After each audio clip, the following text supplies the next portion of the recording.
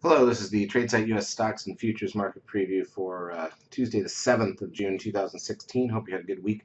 Had a couple of small winners, and futures were good for Monday, but overall action was very, very limited on very, very light volume. One point, uh, really 1.4 billion Nasdaq shares at the close. There was some late volume; it shows 1.5, but it's not really what happened. Meanwhile, the feed market did creep up here. Uh, you can see the ES. This is the front month futures contract. That 13 sell signal is now negated. It's run its course at this point in time, and we are near a breakout on the market. Are we going to get it or not, despite the unemployment number or the employment numbers? Hard to say. We'll see what comes here next, but the volume's so light it certainly doesn't make it interesting. Uh, let's go through everything here real quick. So crude oil down 2 cents to 49.67, still near highs of the year. Gold, sorry about that, up $5.20.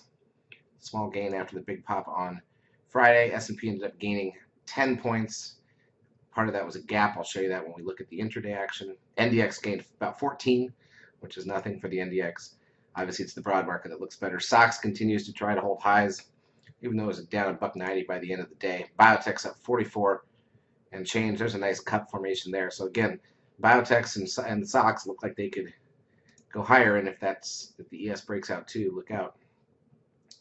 Uh, the VIX 1365. Pretty low close there. Got the trend at 0.71. That's a low close. The 10-day moving average is at 1.10, which is not any kind of a sell signal on the market. Like I said, NASDAQ volume here pretty light. Really was 1.4. It shows 1.5. Advanced decline ratio on the NASDAQ was plus 1262. That's good market breadth. Plus 1190 on the New York. Google lost $5.80, but still holding. What a very narrow range this thing's been in for the last year, right?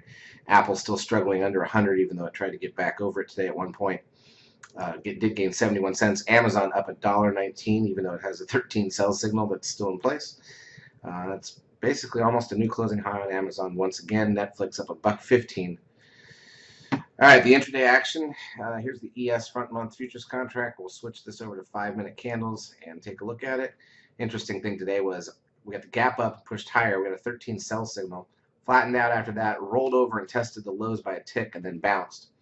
But look at that, the risk line from that 13 sell signal, which is the pink line, that is exactly what was the wall later on in the day. Could not get through that. Pretty pretty significant signal there. And uh, you know, again, a lot of this. Look how flat some of this action was. I mean, yeah, the first 30 minutes surged up, and we had a nice opening range play and whatnot on the futures. But you know, look at that. The next two hours is in like a three-point range. It's just absolutely horrible, and volume was weak. NASDAQ side, here's the NQ futures, got a 13 sell signal after lunch, and the risk line there was the high of the day also. Can't get a better signal than that. Gave you Both sides gave you exactly what you needed out of that signal today. Unbelievable. All right, so what do we have for Tuesday? We've got uh, productivity, revised productivity for Q1, an hour before the bell, and consumer credit at 3 p.m. Eastern Time.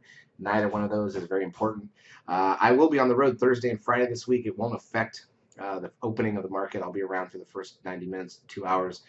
Uh, but that's probably about it, especially on Friday. However, I did forget to point something out in the market preview for over the weekend, and that is that this week, uh, next week is options expiration already for June, and this is a quarterly expiration. And the reason we bring that up is because that means that the quarterly contract roll, which occurs in the futures markets, is going to be this week from Thursday going into Friday. And if you've been around the markets when that happens, you know that uh, things are completely dead. It throws off all the technicals. All the big traders basically step aside, don't play hard.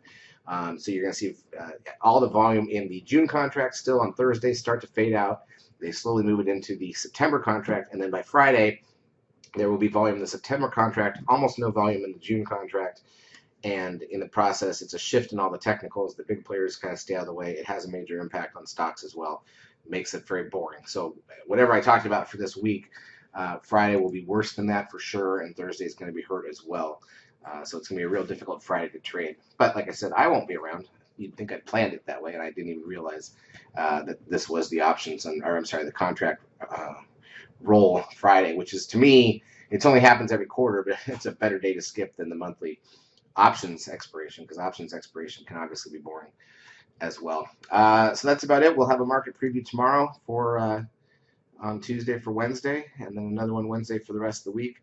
Uh, like I said earlier in the uh, weekend report, not a lot for data coming out here, so we'll just have whatever stock picks come up. We've reported the uh, results for uh, Monday in the blog. Charts as usual brought to you by eSignal 12. If you've not yet taken a trial of our services, feel free to do so. We will help you out for a couple weeks. Have a good trading Tuesday.